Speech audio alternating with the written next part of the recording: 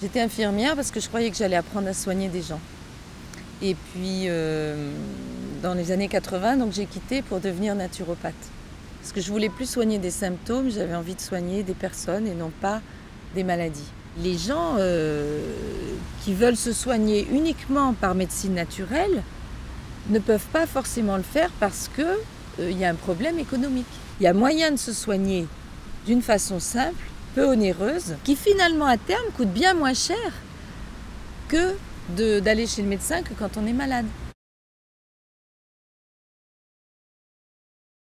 On a décidé donc de créer un dispensaire de soins naturels où les soins, seraient des soins naturels seraient euh, accessibles à tous, à moindre coût. On a euh, des ostéopathes, euh, des médecines manuelles. Alors médecine manuelle, c'est certains ostéos qui ont fait une école pas reconnue par la fédération, des ostéopathes. Une fasciathérapeute, c'est comme l'ostéopathie aussi, ça va dans médecine manuelle.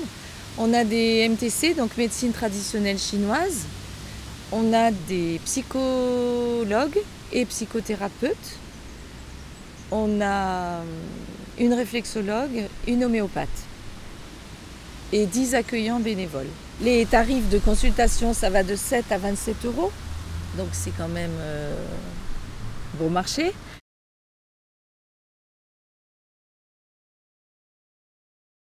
Les patients regardent sur le site, ils disent Ah bah aujourd'hui il y a ostéo ou il y a médecine chinoise, j'y vais. Un lieu où les gens payent leur consultation en fonction des revenus. Un lieu où les gens arrivent sans rendez-vous, ils peuvent être pris tout de suite, si bien qu'on peut accepter les urgences, chose qu'on ne peut pas faire dans nos cabinets, parce que dans nos cabinets, les consultes durent une heure, pas prendre quelqu'un en urgence, parce que ça décale tout. Il y a des laboratoires qui nous ont donné des compléments alimentaires, il y a Solidarité Homéopathie qui nous a donné des teintures mères, des oligoéléments, il y a un laboratoire d'huile essentielle qui nous a donné des huiles essentielles pour commencer, c'est très cher les huiles essentielles. Donc nos placards sont pleins, donc c'est plutôt. Donc on donne facilement les produits aussi aux gens. On est content d'être ensemble parce que quand on a nos réunions pluridisciplinaires, on peut parler de certaines personnes qui ont posé problème. Il y a des gens qui viennent voir l'ostéo, qui viennent voir le naturo, l'homéopathe, euh, le psy, euh, la réflexologue, etc.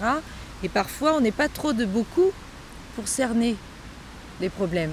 Et donc ça, c'est, et, c'est un enrichissement. on, partage nos pratiques, on fait des ateliers de, d'information. Là, on avait euh, lundi un, atelier d'information sur les métaux toxiques. Euh, on, on, continue de travailler, on ferait presque de la recherche pratique. Les gens sont venus, le bouche à oreille ici marche très bien parce que c'est une petite ville de 9000 habitants, donc ça se dit beaucoup.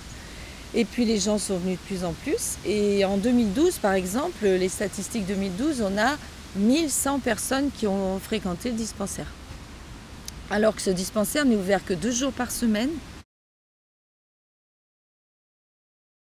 C'était ma manière de, construire quelque chose au niveau de la solidarité des, personnes. Pour moi, euh, c'était important de libérer quelques heures par semaine pour ça. S'il n'y avait pas eu de dispensaire, je pense que je l'aurais fait quelque part chez moi un peu différemment.